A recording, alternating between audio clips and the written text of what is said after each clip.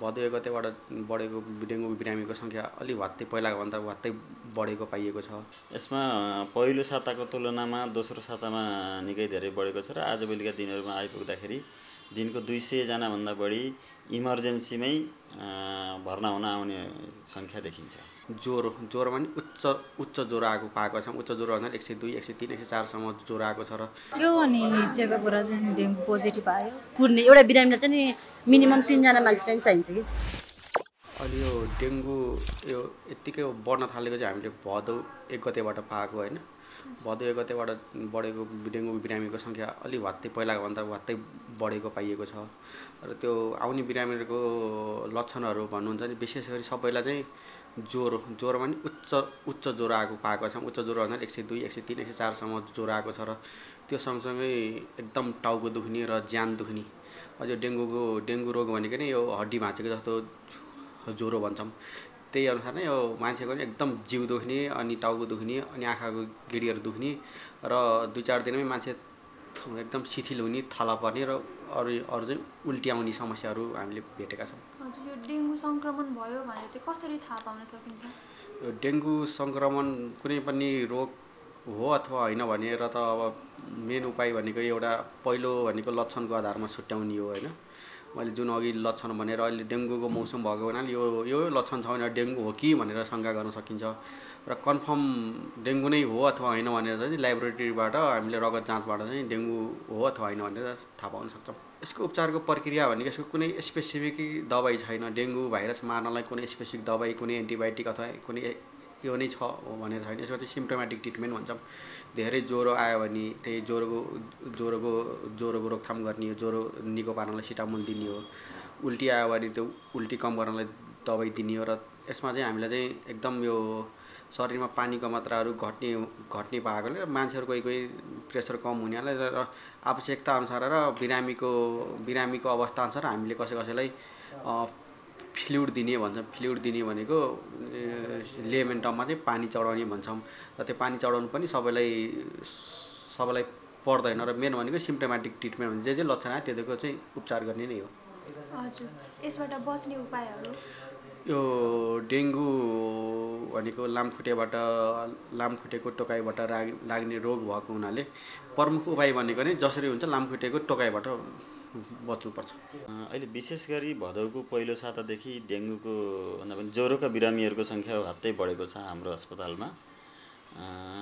यसमा पहिलो साताको तुलनामा दोस्रो सातामा निकै धेरै बढेको छ र आजभोलिका दिनहरूमा आइपुग्दाखेरि दिनको दुई सयजनाभन्दा बढी इमर्जेन्सीमै भर्ना हुन आउने सङ्ख्या देखिन्छ। यहाँ अहिले काठमाडौँमा यो क्षेत्रबाट भन्ने छैन जुनसुकै क्षेत्रबाट पनि चाहिँ ज्वरो र जिउ दुखाइको चाहिँ समस्या लिएर आउनुहुन्छ उहाँहरू। अब विशेष गरी यही क्षेत्र भन्ने खालको त्यस्तो हाम्रोमा छैन। हजुर। अहिले यो डेङ्गु ज्वरोको बिरामीहरूको सङ्ख्या चाहिँ एकदमै धेरै बढ्दो छ। हजुर। अनि उपचारको सन्दर्भमा चाहिँ के कस्तो समस्याहरू आइरहेको छ?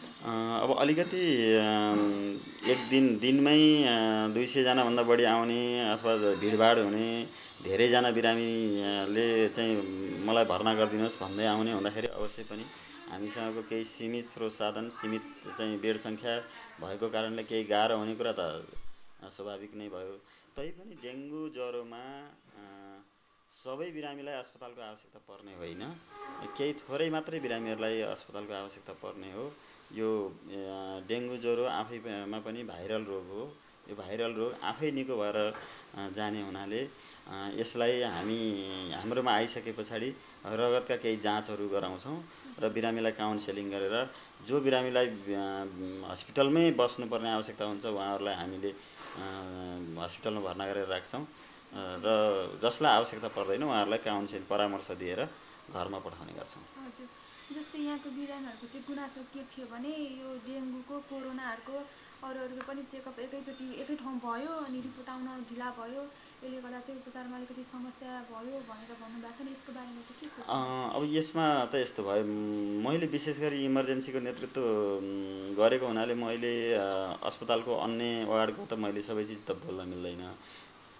यद्यपि जो इमर्जेन्सीमा भर्ना भएको बिरामी हुनुहुन्छ उहाँहरूको सक्दो छिटो हामीले चाहिँ ल्याबबाट पनि रिपोर्ट दिने चाहिँ उहाँहरूले कोसिस गर्नुभएको छ। अ, बढीमा एक डेढ घन्टामा हामीले इमर्जेन्सीको चाहिँ स्ट्याम्प लगाएर पठाइदिइसकेपछि उहाँहरूले एक घन्टामा रिपोर्ट दिनुभएको छ। अब म, बिरामीहरूको चाहिँ एउटा के हुन्छ भने मलाई ज्वरो आयो जिउ दुख्यो टाउको दुख्यो भमिट आउनु आयो म घरिघरि बेहोस भएँ भनेपछि मलाई हस्पिटलमै राखेर उपचार गरिदिए हुन्थ्यो जस्तो लाग्छ। दिनमै दुई सय तिन सयजना बिरामी आउनुहुन्छ। अब हाम्रो अस्पतालको बेड क्षमता सय मात्रै हो होइन। त्यो सबैलाई बेडमा राखेर उपचार गर्न सम्भव त छैन र आवश्यकता पनि छैन फेरि। त्यो घरमै बसेर चाहिँ केही आवश्यक मात्रामा औषधिहरू खाएर घरमै बसेर नर्मल खाना खाएर आराम गरेर पनि यसलाई चाहिँ निर्मूल पार्न सकिन्छ। ज्वरो आएको थियो अनि चेकअप गरेर चाहिँ डेङ्गु पोजिटिभ आयो। समस्या त खासै आएन होइन। आयो अनि एडमिट गर्नुभयो राम्रोसँग नै उपचार गर्नुभयो।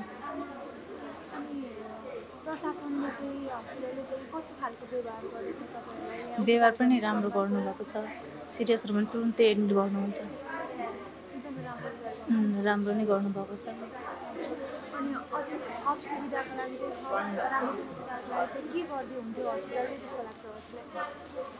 अगाडि त मलाई थाहा भएन म त यहाँ नआएको होइन।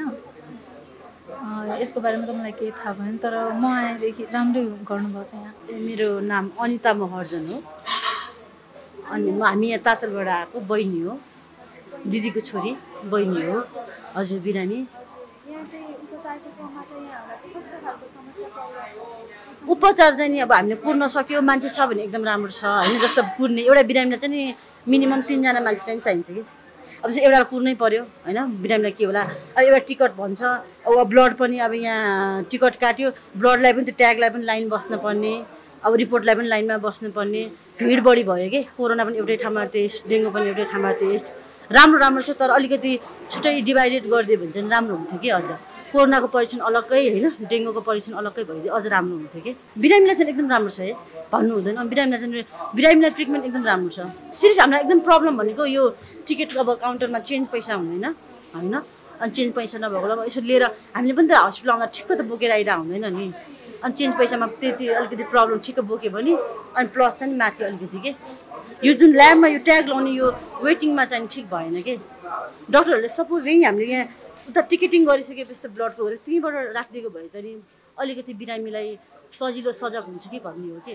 सबै बिरामी दुई तिनजना मान्छे त च्यापेर आउँदैन। कहिले म एक्लै पढ्न सक्छु? होइन? त्यसको लागि भन्न खोजेको कि? अब यो बच्चाको लागि त दुई तिनजना छ म एउटालाई जाउँला एउटालाई ढुकुला त्यो केही पनि छैन। त्यस्तो मान्छे नभएको मान्छे एकदम समस्या पर्दो रहेछ कि? जानु कुर्नुपर्ने भएको भएर समस्या हुन्छ कि? हस्पिटलले चाहिँ अरू के होइन? अब यो त हुन त खास यो डेङ्गु कोरोनाको टाइममा मात्र क्राउड होला होइन? जस्तो यस्तो टाइममा चाहिँ अलिकति छुट्टा छुट्टै उनीहरूको डिभाइडेड गरेर होइन? छुट्टा छुट्टैमा राखिदिएको भए झन् राम्रो हुन्थ्यो कि? छुट्टा छुट्टै फ्लोरमा डेङ्गुको छुट्टै जस्तै अब कोरोनाको परीक्षण छुट्टै गरिदिएको भए राम्रो हुन्छ कि? अब जस्तै अब सामाजिक दूरी कायम गर्नु भनिरहेको हुन्छ। अब त्यो सँगसँगै हामी पिसिआर चेक गर्न मान्छे आइरहेको हुन्छ होइन? त्यो अलिकति चाहिँ नि भिड कम गरिदिएको भए राम्रो हुन्छ भन्ने। अनि लाइन सिस्टम पनि मिलेन कि?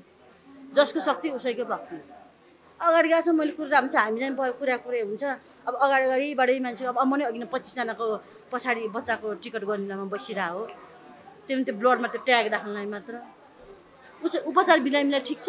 सिर्फ बिरामी कुराहरूलाई धाउनलाई अलिकति सहज भएन।